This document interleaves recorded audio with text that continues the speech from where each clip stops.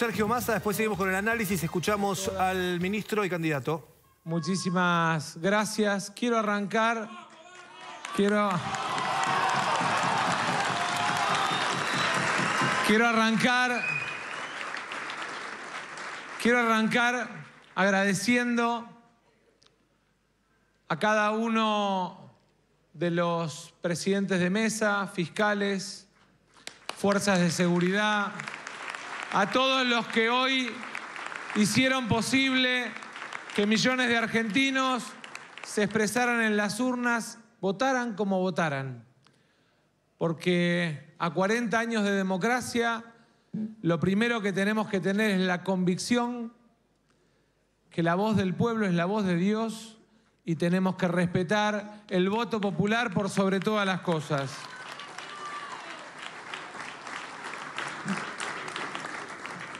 Y entendemos sobre la base de lo que ha representado y significado el final de esta primaria, varias cosas que nos parece importantes contar a cada uno de ustedes, pero sobre todo a cada argentino y argentina que está en su casa y que trata de alguna manera de entender esto de un nuevo escenario en la política argentina no nuevo porque haya nacido una nueva fuerza que expresa con contundencia la oposición, sino sobre todas las cosas porque además ha dividido en términos de escenario electoral en tercios el escenario político argentino.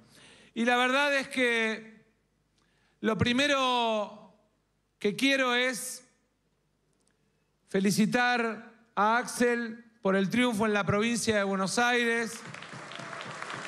Felicitar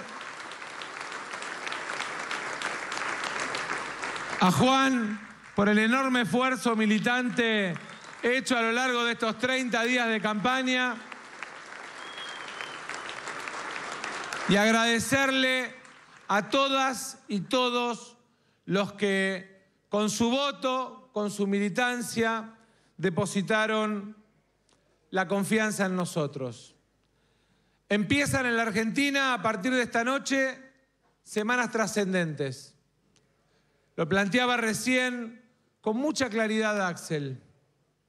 Empieza a discutirse qué país vamos a construir los próximos años. Empieza a discutirse en la Argentina si vamos a un país con apertura indiscriminada de las importaciones o con defensa de la industria nacional. Nosotros vamos a seguir defendiendo nuestras pymes, la industria argentina, la soberanía energética y sobre todas las cosas nuestra capacidad de desarrollo.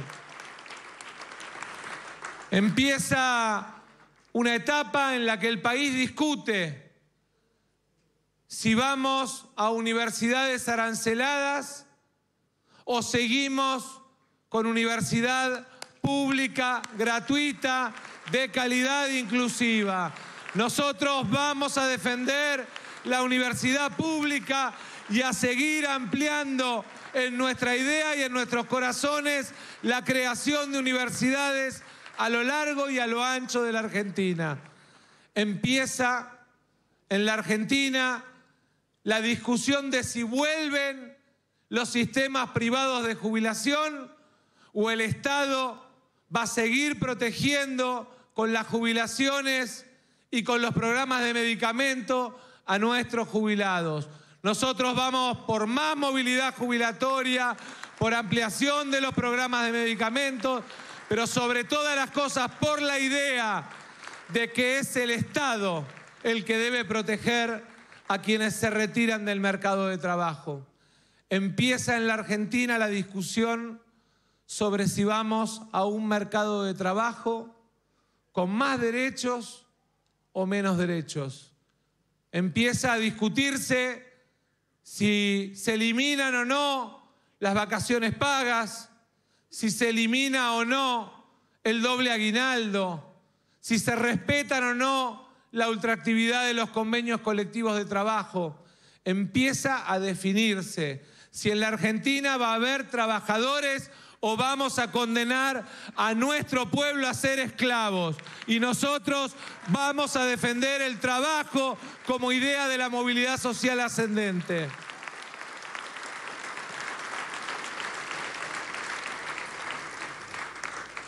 Y hoy empieza una elección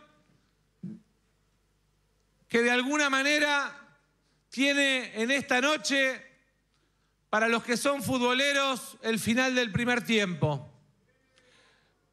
Nos queda el segundo tiempo y el alargue y los penales. Y vamos a estar peleando hasta el último minuto porque...